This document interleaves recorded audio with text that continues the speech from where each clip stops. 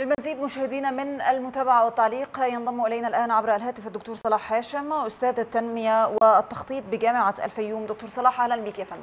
أهلا بك استاذه نانسي نعم يعني الكثير ربما سنتناقش فيه فيما يتعلق بافتتاح عدد من المشروعات اليوم في الإسكندرية. ولكن دعني أبدأ معك بالملف الذي أخذ حيز أكبر في افتتاح هذه المشروعات وهو ما يتعلق بحديث السيد الرئيس عن المخالفات على أراضي الدولة. كأستاذ تخطيط وتنمية كيف سيؤثر ذلك على ما يتعلق بافتتاح قرى جديدة افتتاح مشروعات قومية جديدة؟ وطبعا في استراتيجية قومية طبعا للقضاء على على العشوائيات والحفاظ على الأرض الزراعية. مصر لا زالت حتى الآن هي دولة زراعية بالأساس وبالتالي السيطرة والهيمنة على الأرض الزراعية وتحويلها إلى كتل خرسانية طبعا أضر بالأمن القومي ويؤثر على الأمن الغذائي المصري. فهناك استراتيجية كبيرة للحفاظ على الأرض الزراعية وفي نفس الوقت الانتقال بمصر إلى دولة حضارية بعد أن اتسمت مدن كبيرة جدا بالعشوائيه كان لدينا حوالي 1300 منطقة عشوائية حتى 2010 كانت هناك محاولات عديدة قبل 2010 للقضاء على العشوائيات ولكنها لم تأتي بأي جديد بسبب طبعا البناء على الأرض الزراعية والتي وخاصة في المناطق الريفية. وأصبح هناك العمل في الشريط الأخضر الضيق أو القضاء على الشريط الأخضر الضيق المحيط بوادي النيل. فكان المستغل من مصر حتى فترة قريبة حوالي 4.5% من مساحة مصر فقط هو الآهل بالسكان.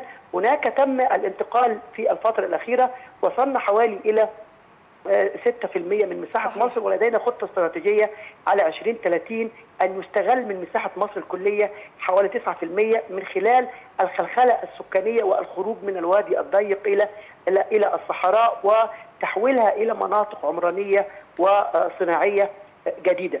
ده كان بيتم من خلال جملة من التشريعات منها طبعا قانون البناء الموحد مخالفات البناء في الأرض الزراعية قانون المصالحات الجديد وهو كلها قوانين رادعة ولكنها رادعة بقوة للحفاظ على مصر من التحول إلى العشوائية.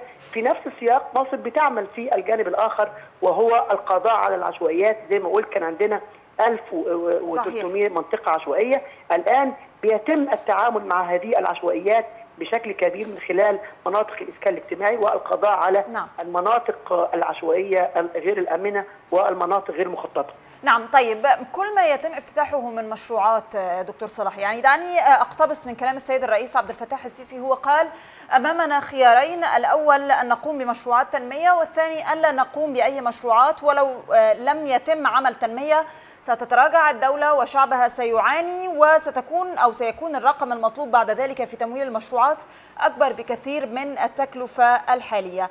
تعليقك على ما قاله السيد الرئيس في هذا المحور تحديدا دكتور صلاح.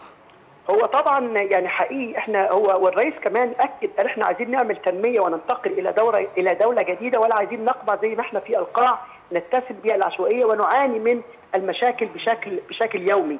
هي فكرة اتحاد الدولة واصطفاف الشعب خلف القيادة السياسية في النهوض بمصر وبناء الجمهورية الثالثة.